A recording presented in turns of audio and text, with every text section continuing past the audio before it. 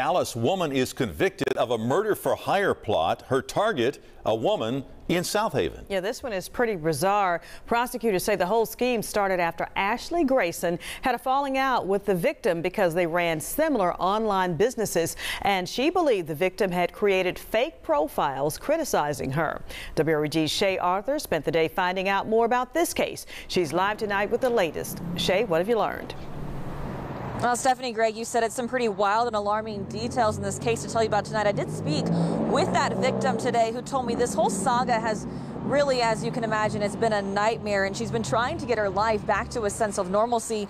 But she apparently, uh, she wasn't the only target in this case.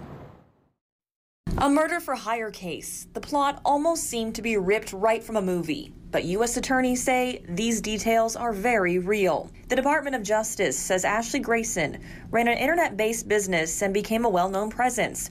Research shows she did online coaching. In 2021, prosecutors say she had a falling out with a Southaven woman who did similar work, and she believes she created fake profiles criticizing her. In 2022, Grayson asked a Memphis woman who she worked with in the past to fly to Dallas, Texas, where she lived to discuss a business opportunity. There, Grayson proposed a scheme. She would pay that woman and her husband to kill three people the Southaven woman, Grayson's former boyfriend, and a woman in Texas who she said made negative social media posts about her.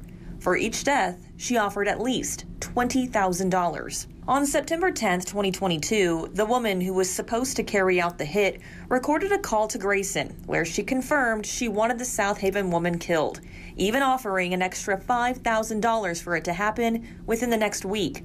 At one point, that woman sent Grayson a picture of unrelated police lights, saying she had tried to carry out the job but was unsuccessful, demanding $10,000. The woman and her husband went to Dallas, where Grayson paid $10,000 for what she believed was the attempt. Grayson and her husband were both indicted, but following a week long trial, her husband Joshua was acquitted. Last month, the judge sentenced Ashley to 10 years in prison. Stephanie Greg, again, I did speak with that woman at the center of this case here locally. She told me she's glad justice is finally being served, but she says this whole process is far from over. For your news leader, we're live downtown tonight. Shay Arthur, WREG, News Channel 3.